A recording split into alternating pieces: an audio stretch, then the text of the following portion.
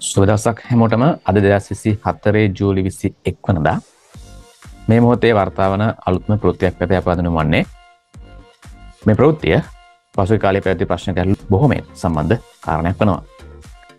වර්ජන රැල්ල නිමවේද ලබන මාසයේ සිට රාජ සේවකයන්ගේ වැටුප දැන ගණනකින් වැඩි කිරීමට සැරසේ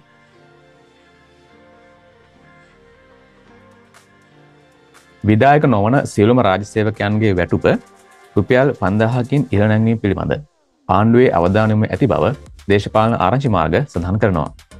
රාජසේවකයින්ට පසුගේ අයවෙන්ද රුපියල් දසදහස්සක වැටුපර්දකයක් ලබාදීමට රජය කටයුතු කළේ. එවැනි පසුබිමක තවත් රුපියල් පන්දාහක දීමනාවක් ලබාදීම කෙරෙහි රජය අවධානය යොමුුවේ ඇති බවයි එම ආරංචි මාර්ග පැරදුටත් සහන් කරන්නේ. මේ අතර ජනාධපති රනිල් වික්‍රමසිංහ මහතා විසින් රජයේ සේවකයන්ගේ වැටු පිස්මතා සමාලෝචනය කිරීම සඳහා කමිටුවක්ද පත් කර තිබේ.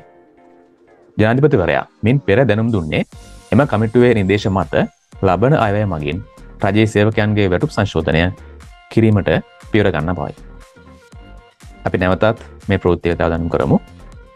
විදායක නොවන සියලුම රජයේ සේවකයන්ගේ වැටුප රුපියල් පන්දහකින් නිර්ණැමින් පිළිබඳ ආණ්ඩුවේ අවධානම ඇති බව දේශපාලන ආරංචි මාර්ග සඳහන් කරනවා. රජ සේවකයන්ට පසුගේ අයවෙන්ද රුපියල් දසදහස්සක ඔටු පරදකක් ලබාදීමට රජය කටයුතු කළේ. එවැනි පසුබිමක තවත් රුපියල් පනදාහක දීමනාවක් ලබාදීම කෙරෙහි රජය අවධානමු කර ඇති බවයි එම ආරංචි මාර්ග වැරුද සඳහන් කළේ.